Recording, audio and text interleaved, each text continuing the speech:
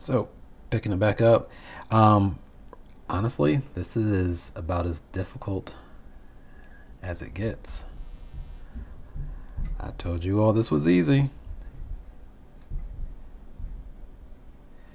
The only thing you have to do is make sure you go into the correct space when you do your single crochet.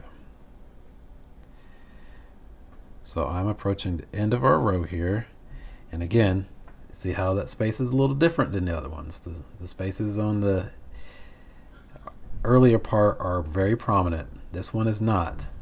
So we just make sure our hook goes after that second bar, which is right there.